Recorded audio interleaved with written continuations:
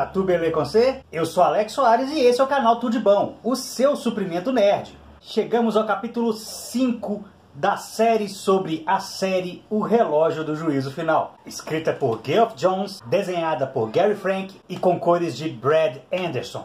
Se você não assistiu os vídeos dos capítulos anteriores, eu recomendo firmemente que você assista a eles. Tem muito detalhe bacana que você pode ter deixado passar quando leu a história. E avisando de uma vez, vai ter spoiler do capítulo 5 nesse vídeo. E antes da gente começar a falar sobre essa série fantástica da DC Comics que está sendo publicada no Brasil pela Panini, já vai deixando aquele seu like bacana para fortalecer o nosso trabalho, se inscreve no canal se ainda não for inscrito, ativa o sininho, se inscreve nas nossas redes sociais, porque isso é muito importante, e compartilha esse vídeo com pelo menos um amigo seu. Isso vai ajudar a gente de uma forma que você nem imagina. E aproveita também e se inscreve nos nossos canais parceiros, o Alquimista Nerd, link no card e na descrição desse vídeo e também no Tomada Pop, link no card e na descrição.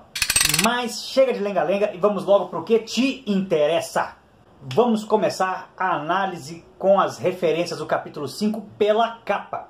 Olha aí a capa original da história. É um raio-x do Adrian Veidt, o Ozymandias.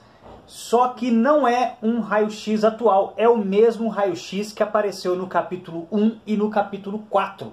E aí a capa alternativa que foi utilizada pela Panini, é o Coringa usando as maquiagens do Mímico e da Marionete, indicando aí o encontro entre os três. Já que a gente está falando das capas, também vamos falar da contracapa. Olha só a contracapa do capítulo 1, 2, 3, 4 e 5. Tá dando um resultado bem bacana, né?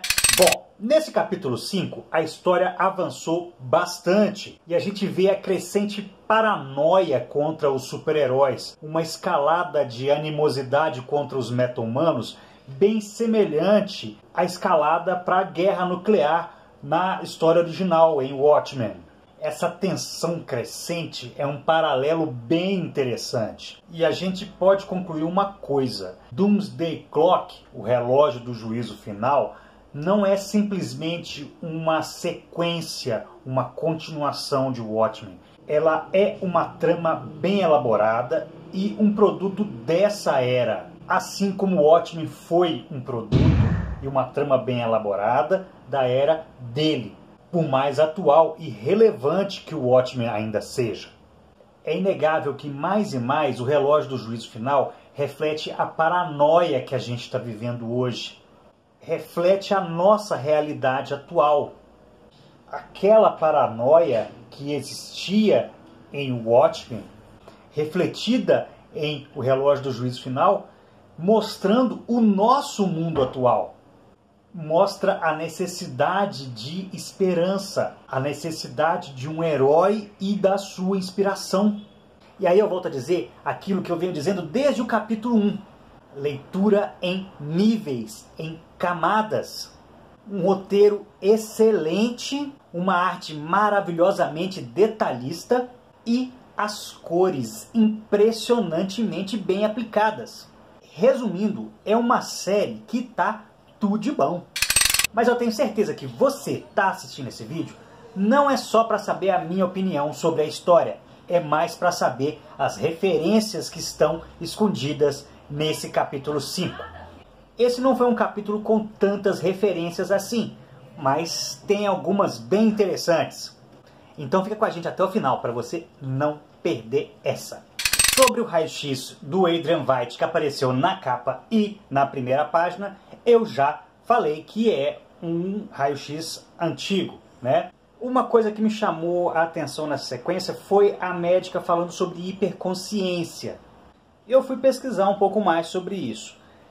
Porém, eu não achei nada especificamente no campo médico. Eu achei mais no campo da yoga. A hiperconsciência é a expansão do campo da consciência até o controle total de suas funções. Chega-se a esse estado através da prática da meditação. induzindo o seu praticante ao autocontrole.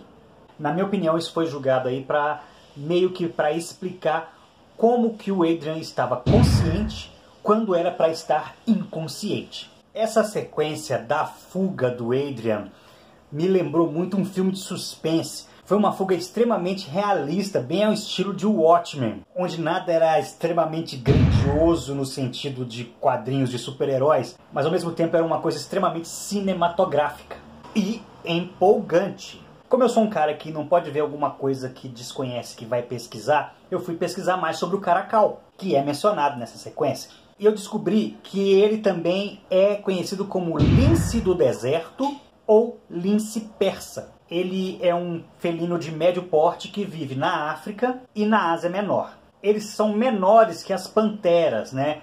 Os leões e leopardos, e que os guepardos. Mas eles são maiores que os gatos selvagens africanos. Eles podem chegar a medir mais que 90 centímetros e pesar mais de 18 quilos. A pelagem deles pode ser avermelhada, acinzentada ou amarelo torrado. Alguns podem até ser pretos. São fáceis de domesticar e são utilizados em atividades de caça em países como o Irã e a Índia.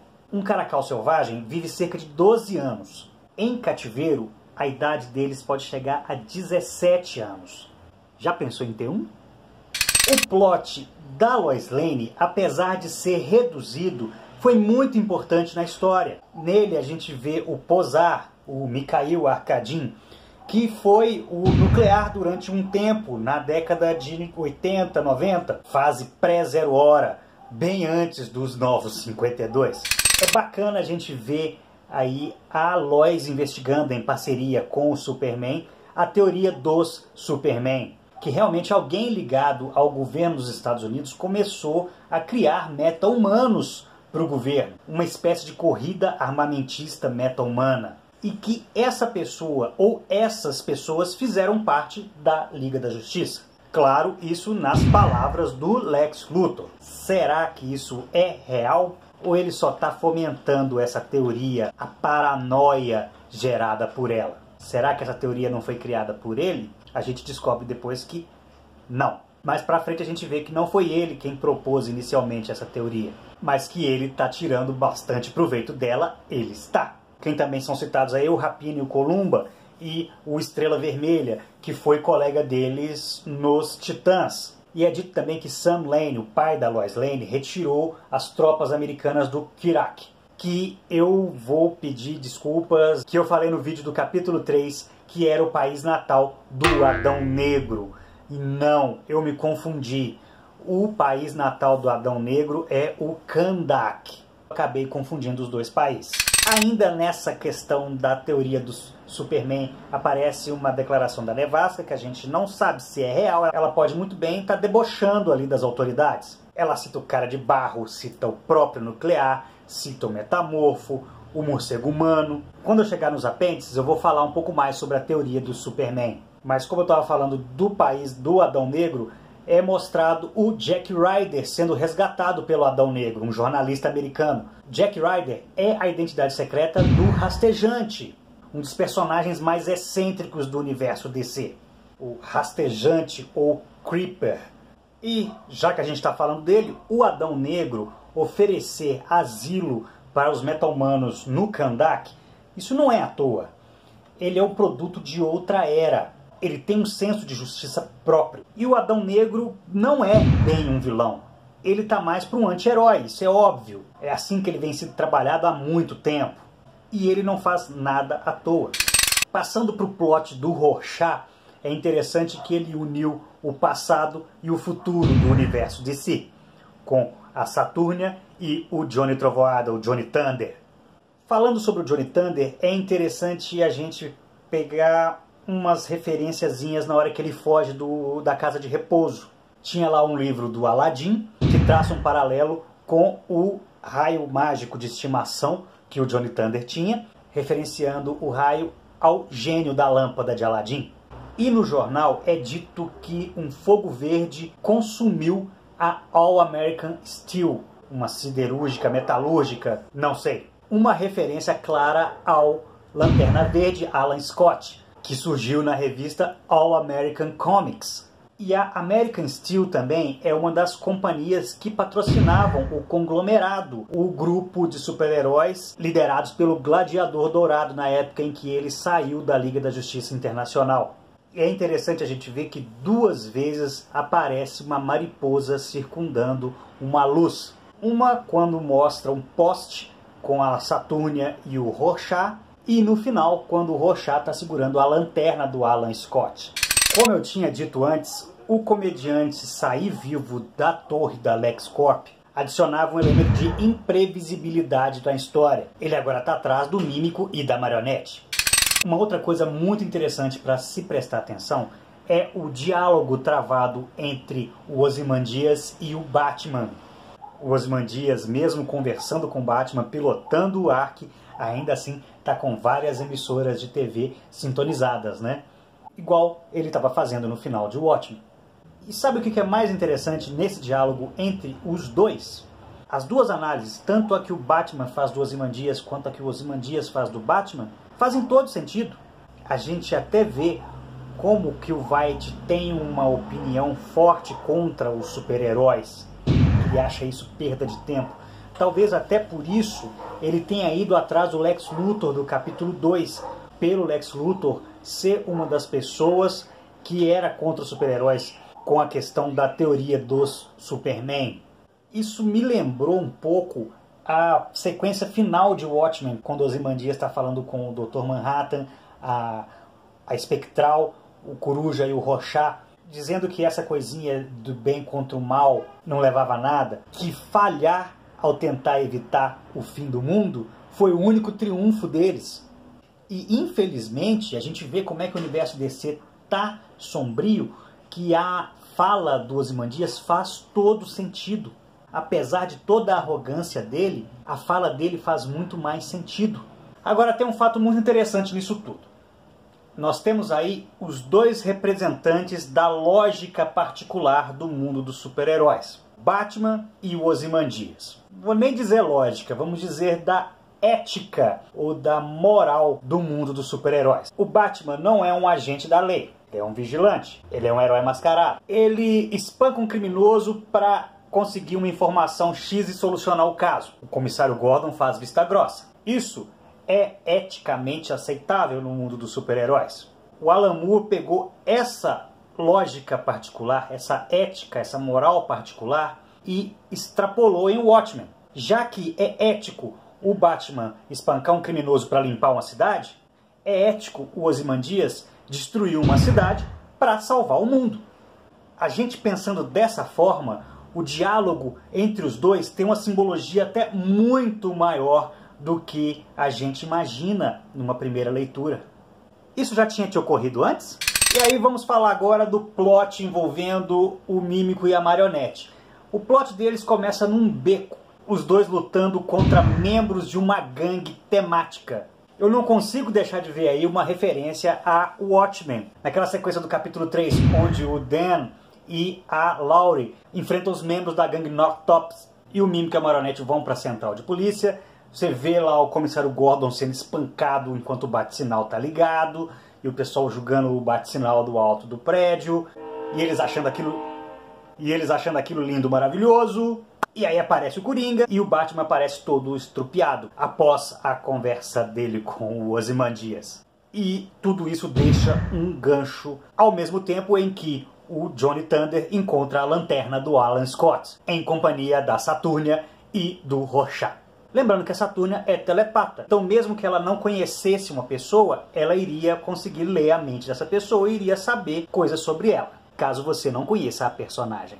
Eu, particularmente, achei os ganchos deixados por essa história fantásticos. O que vai ser do Batman, já que ele está todo estropiado e ele está nas mãos do Coringa, do Mímico e da Marionete? O Mímico e a Marionete vão ser amiguinhos do Coringa? Bom, eles se tornando amiguinhos ou não, eu acho que de qualquer forma vai dar ruim isso aí.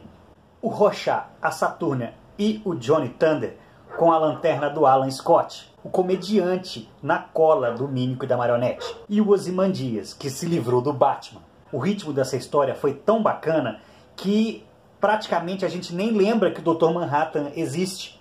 Não fosse pelo fato dele ter sido citado na história E aí a história termina com aquela citação, cujo pedacinho é o título da história, de Eugene O'Neill. Eugene O'Neill foi um dramaturgo, anarquista e socialista norte-americano. Ele nasceu em 1888 e morreu em 1953. Ele levou o Prêmio Nobel da Literatura em 1936, foi o primeiro americano a levar o prêmio. Fora que ele levou o Prêmio Pulitzer, um dos mais importantes prêmios dos Estados Unidos, quatro vezes. É bem interessante eles terem usado essa citação dele no final da história e para dar título a ela. As peças dele foram as primeiras a introduzir técnicas do realismo e ele foi uma grande influência para muitos escritores, inclusive para o brasileiro Nelson Rodrigues. Uma das peças dele, Imperador Jones, foi o ponto de partida do Teatro Experimental do Negro de Abdias do Nascimento. Os personagens do Eugene O'Neill, eles habitam à margem da sociedade eles têm um comportamento desregrado e eles têm aspirações e esperanças, o sonho americano, completamente inalcançáveis. O pai dele era católico irlandês e a mãe dele era bem ligada ao misticismo. Isso acabou gerando uma bagunça na cabeça dele em relação a Deus e a religião. E isso se refletia nas obras dele. Os personagens dele eram normalmente internamente despedaçados, que buscavam, através da autonegação, da embriaguez, fugir das responsabilidades sobre as suas vidas. Eu acho que isso se encaixa muito bem nessa história, inclusive com a escolha de alguns personagens para serem o fio condutor dela. Uma outra frase dele que é muito famosa é essa aqui: Obcecados por um conto de fadas, passamos nossas vidas procurando por uma porta mágica e um reino perdido de paz. E aí nós chegamos nos apêndices que mostram uma publicação que estava lá na casa de repouso onde Johnny Thunder estava. E essa publicação nos esclarece mais sobre a origem da teoria dos Superman, já que ela mostra essa teoria usando trechos das origens de alguns heróis e alguns vilões. Mas como toda boa teoria da conspiração, ela só usa o que interessa para validar ela. Ao mesmo tempo, ela mostra que a paranoia da população, já que as pessoas não conhecem todos os fatos por trás da origem dos heróis e vilões, é justificável. Por exemplo, a doutora Elga Jace, que foi a primeira a postular a teoria dos Superman. Por que ela falou isso? Por que ela falou que tinham heróis e vilões trabalhando para o governo? Porque ela viu o Esquadrão Suicida agindo na Marcóvia. E o Esquadrão Suicida é formado por quê? Por vilões, fazendo serviço para o governo dos Estados Unidos em troca de redução de pena. Mas a doutora Elga não sabia disso. Os fiscais de imposto de renda vão nas indústrias Steg e descobrem dados que mostram que o acidente com o Rex Mason para virar metamorfo não foi tão acidente assim, que ele pode ter sido provocado.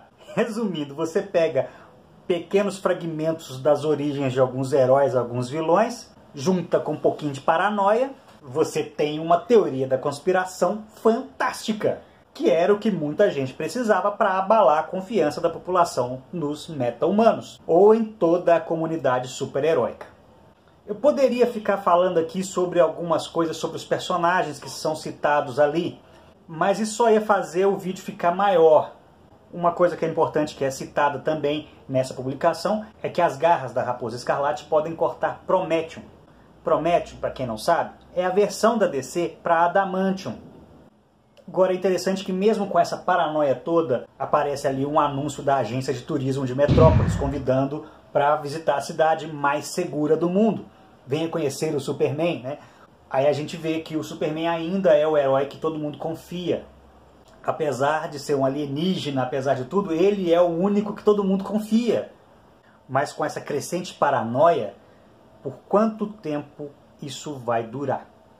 Se você gostou do vídeo, não se esquece de deixar o like, se inscrever no canal, ativar o sininho, se inscrever nas nossas redes sociais e nos nossos canais parceiros. E não se esquece, com crise ou sem crise, semanalmente a gente está aqui com alguma coisa bacana.